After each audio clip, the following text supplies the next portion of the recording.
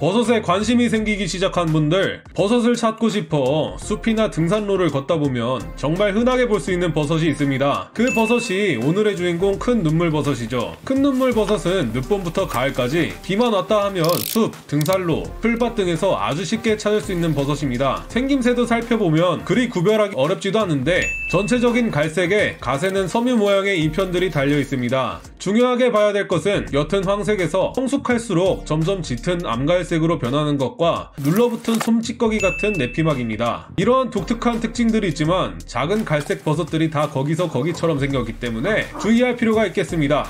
비슷하게 생긴 독버섯들이 참 많거든요. 사실 정말 흔하고 많이 볼 수 있는 버섯이지만 극한의 버섯 매니아 빼고는 먹는 사람들이 거의 없습니다. 특별한 맛이나 향기가 있는 것도 아니고 사람들에게 인지도가 거의 없다시피 한 버섯이니까요. 어쨌거나 길 가다 보니 발견했고 발견하고 보니 식용버섯이었으니 또 먹어봐야 되지 않겠습니까? 식용버섯이긴 한데 사람에 따라 알레르기 반응이 나타날 수도 있다고 하니 이런 건 제가 대신 먹어드릴 테니 여러분들은 웬만해서 드시지 마세요. 네. 말 안 해도 국룰 따라야죠. 대침반 요리반입니다. 근데 좀 비주얼이 정말 먹기 싫게 생기긴 했네요. 어둡고 칙칙한 것이 맛있어 보이진 않아요. 흙에서 나는 버섯이니 손질 좀 해주고요. 손질해도 이 모양이네요. 자, 다 데쳤습니다. 생긴 건 이렇게 생겼고요. 냄새는 말입니다. 삶은 버섯 향기가 강하게 납니다. 향은 좀 진한 편이네요.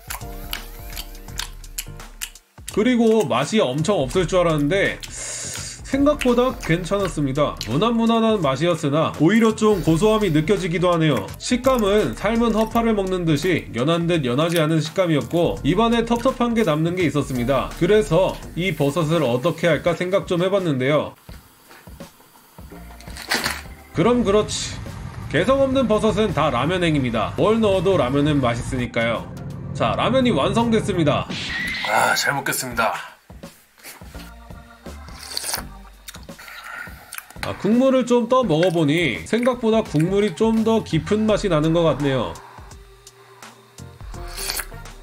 뭐 이상하게 생겼네. 꽤나 괜찮은 건더기가 되었습니다. 식감도 그렇고 국물과 조화가 나쁘지 않아요. 무침, 대침, 볶음보다는 국물이나 조림 요리에 어울릴 것 같다는 생각이 드네요. 자 어쨌든 외모도 무난 맛도 무난했던 별 볼 일 없던 큰 눈물버섯 자급자족할 일이 아니라면 별로 추천드리고 싶진 않네요.